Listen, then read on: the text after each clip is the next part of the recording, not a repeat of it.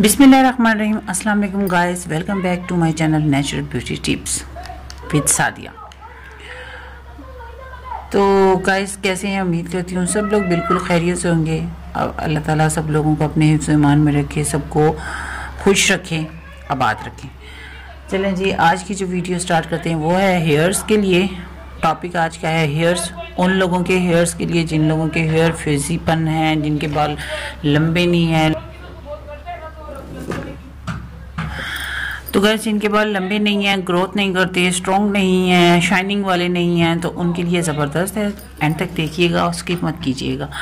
तो करना हमने क्या है कि हम नॉर्मली अपने हेयर्स को जब वॉश करते हैं तो किसी भी शैम्पू से वॉश करते हैं। और क्या, करते क्या है कि हम डायरेक्ट वॉशरूम में जाते हैं और डायरेक्ट शैम्पू को अपने हेयर्स पे अप्लाई कर देते हैं, जो कि सबसे ज़्यादा ख़तरनाक है। यहीं पर हम सबसे बड़ी गलती करते हैं कि अपने बालों को सब डायरेक्ट शैम्पू से शैम्पू के साथ वॉश कर देते हैं। तो गाइज़ ऐसा नहीं करना चाहिए। आज मैं आपको बताऊँगी कि कैसे करना चाहिए और क्या यूज़ करना चाहिए। तो सबसे पहले हम लेंगे जी शैम्पू जब भी आप वॉश करें, अपने बालों को गीला करें गीला करने के बाद आपने डायरेक्ट शैम्पू का अप्लाई नहीं करना है बालों पर। आपने लेना क्या है? अपने किसी भी बाउल में या किसी भी नहाने वाला जो वो होता है बाउल होता है, आप उसमें अपना शैम्पू ऐड कीजिए, जितना आपने लेना होता है। और उसके बाद आपने इसके इवियन कैप्सूल का यूज़ लाजमी करना है, जिनके बाल झड़ते हैं रफ़ हैं फिसी हैं, जिनके बालों में खुश्की है तो डेंड्रफ का मसला है, उनके लिए ये ज़बरदस्त है।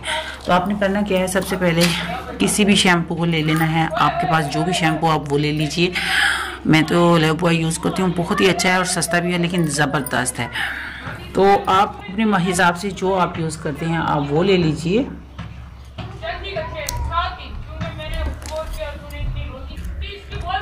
तो हमने ये ऐड करना है। कोरोना की वजह से सब स्कूल्स बंद हो गए हैं तो बच्चों की दोबारा आवाज़ें आना शुरू हो गई हैं।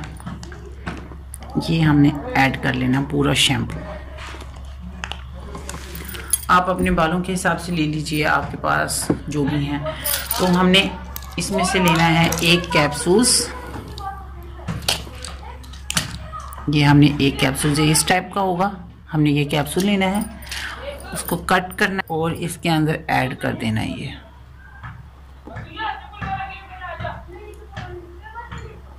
ये बहुत ऑयली होता है तो इसलिए गाइस खास समझ में नहीं आता कि ऑयल है भी कि नहीं, लेकिन ये ऑयली होता है, इसके अंदर ये ग्रेसी ग्रेसी होता है, ये इसमें ऐड हो जाएगा। तो जैसे ये ऐड गया, इसके अंदर हमने एक डालना है। ज़्यादा यूज़ नहीं करना, सिर्फ़ एक यूज़ करना है। फिर उसको अच्छे से मिक्स करना है हमने।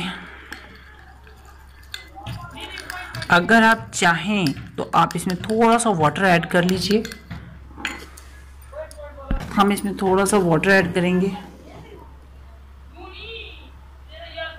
वैसे भी नॉर्मली अगर हम कि कोई भी चीज़ यूज़ ना करें शैम्पू ही यूज़ करें तो उसमें भी हमें लाजमी शैम्पू में हमें क्या करना चाहिए कि अब वाटर लाजमी यूज़ करना चाहिए। वाटर के बगैर वाटर के बगैर जब हम शैम्पू को डायरेक्ट अपने हेयर पर अप्लाई करते हैं तो उनकी रूट जो होती है वो डैमेज कर देती है शैम्पू क्योंकि इसमें भी केमिकल्स होते हैं, ज़ाहिर बात है।